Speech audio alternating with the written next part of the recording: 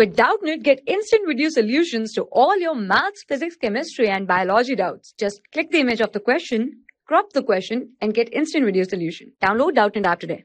Hello student, here our question is figure show equipotential surface concentrated at O, okay, the magnitude of electric field at a distance R measured from center O is how much? This is our center O is given, here it is not visible, okay, this is O and uh, this distance is 10 meter, okay, here it is given 10 meter and this distance is 20 meter, okay, and this um, larger circle, semicircle has the distance that is 30 meter, right? It is not clearly visible in the image. And potentials are given and potential potentials are given here that is 60 volt here first one. And this is 30 volt and uh, this potential surface has 20 volt right? Now we have to find out the electric field at a distance r. Let us figure out first what is the direction of electric field. From the this uh, we know that in case of this equipotential surface electric field is always pass perpendicular to the surface of this equipotential surface okay? So it will pass in this direction and if we worried about any direction means it will come it will electric field go outward or inward to the circle that you can check this using the relation that is dv equal to e negative of e dot dr. Okay this is the relation we can check here right? Now if you observe here our potential is decreasing okay? Our potential is decreasing equipotential.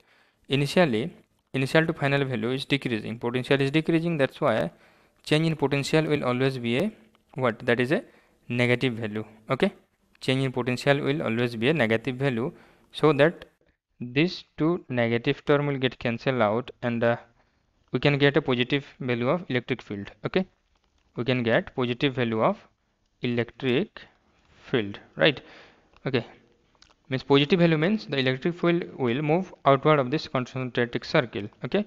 We got the direction. It cannot move inward of this concentric circle right? Now we need to find find out the electric field. We know that potential term is given as v potential is 1 by 4 pi e naught okay? Q divided by r. This is the potential right?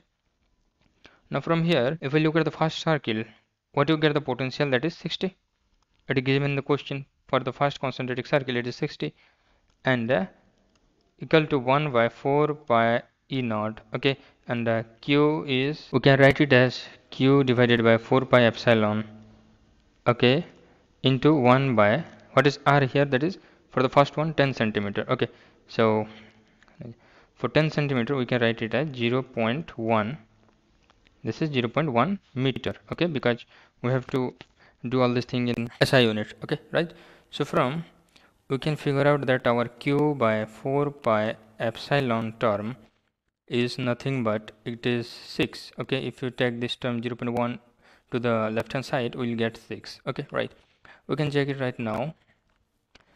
Here for the uh, now considering the second circle okay? What you can get that is the potential here is 30 okay?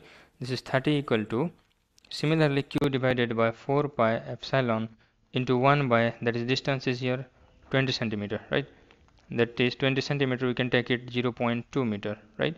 So from here what you got that is q divided by 4 pi epsilon equal to 6 okay. Why you are calculating this q by 4 pi in our term because we know that the expression for electric field e equal to 1 by 4 pi E naught Q divided by distance R square, R square. Okay, if you consider any distance, any distance, right?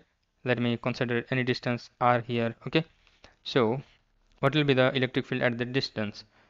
It is easy for us to calculate here, right?